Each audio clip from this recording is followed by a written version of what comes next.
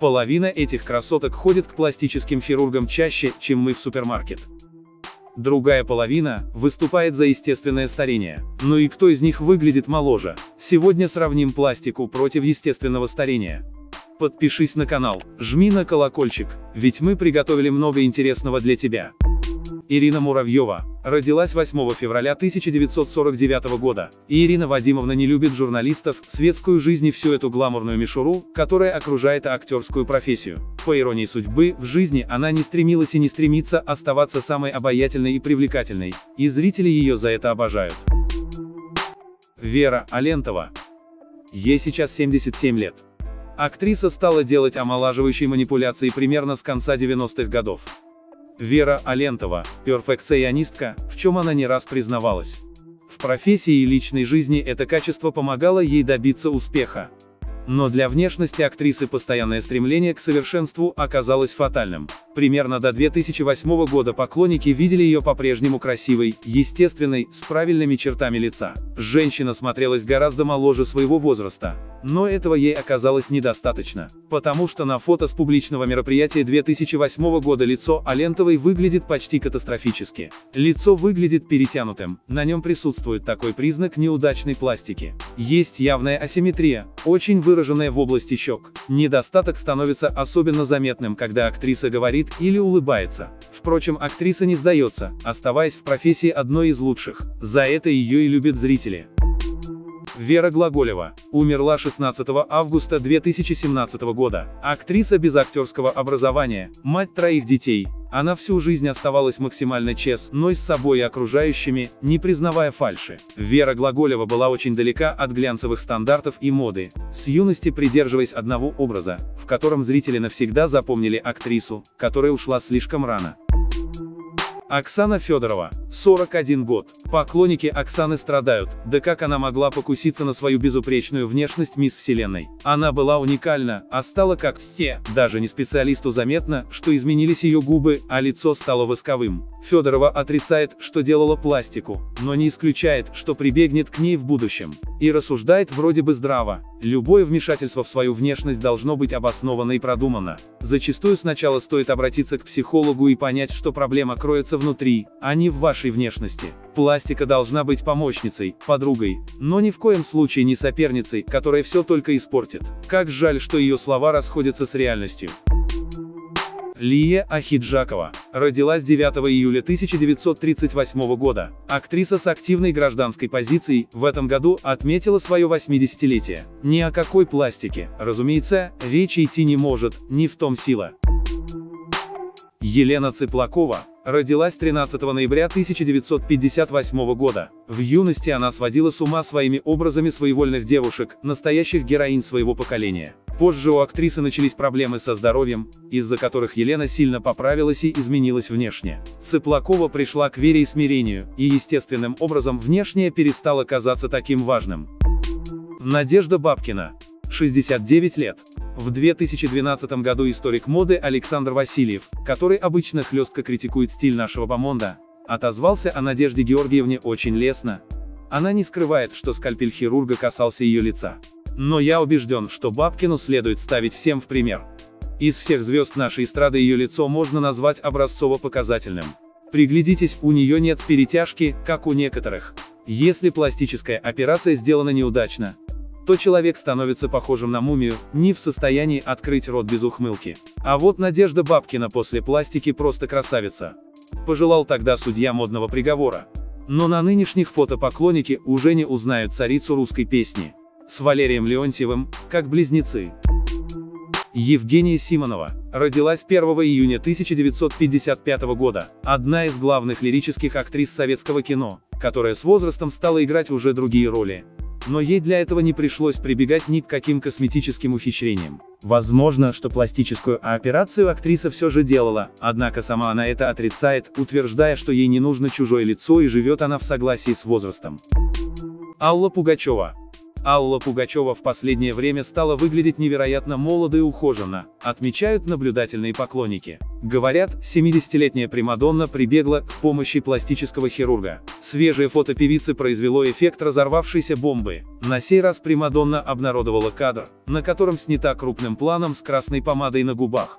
Нашлись и те, кто высказал мнение, будто на последних фото 70-летняя Примадонна выглядит лучше дочери, певицы Кристины Арбакайте. Не обошлось и без критики. Пользователи сети заявили, что у Аллы уже рот не закрывается из-за пластических операций, которые та якобы перенесла. Третьи высказали мнение, что Пугачевой пора перестать в 70 лет пытаться выглядеть на возраст в два раза меньше. Дескать, попытки молодиться жалкие и глупые. Елена Санаева Родилась 21 октября 1942 года. Любимая лиса, Алиса и преданная жена и муза великого Ролана Быкова. Сегодня снимается мало, но часто появляется в телепередачах. К счастью для поклонников этой удивительной семьи, Елена Всеволодовна не стала гнаться за молодостью, чтобы быть востребованной. Наталья Андрейченко. 63 года. Наталья Андрейченко после пластики утратила былое очарование. Сейчас актриса привлекает внимание огромными непропорциональными губами на подтянутом лице, потерявшим индивидуальность. Пластические операции так изменили Наталью, что поклонники перестали ее узнавать. Хотя былой популярности после пластики пришлось забыть, сама Андрейченко философски подходит к неудаче. Чтобы устранить последствия пластических операций и выйти из списков жертв пластической хирургии, Наталья Эдуардовна следит за питанием, занимается йогой и пропагандирует здоровый образ жизни. При этом она по-прежнему не осуждает женщин, обращающихся к пластическим хирургам за сохранением молодости. Ирина Алферова. Родилась 13 марта 1951 года. Одна из самых красивых актрис советского кинематографа, в отличие от многих других обладательниц этого статуса, решила стареть естественным образом, не пытаясь сохранить очарование юности. Умные женщины и так понимают, что это невозможно и смешно.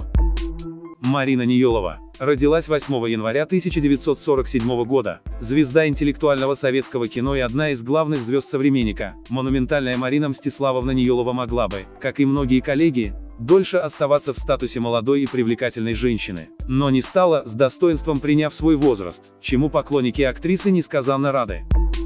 Раиса Рязанова, родилась 31 октября 1944 года. Перейдя в ранг экранных мам и бабушек, Рязанова обрела актерское счастье сниматься и быть востребованной. Ну и какая бы была востребованность, если бы она подогнала себя под новые стандарты красоты без единой морщины. Маша Распутина. 55 лет. Взглянув на ее старые фотографии, становится понятно, что Мария не всегда была такой, как сейчас, таланта исполнять песни у нее не забрать. А вот свою внешность, она давно решила отдать мастерам своего дела, хирургам. Артистка продолжает экспериментировать с внешностью. За чрезмерное увлечение пластикой певицу Машу Распутину раскритиковали поклонники.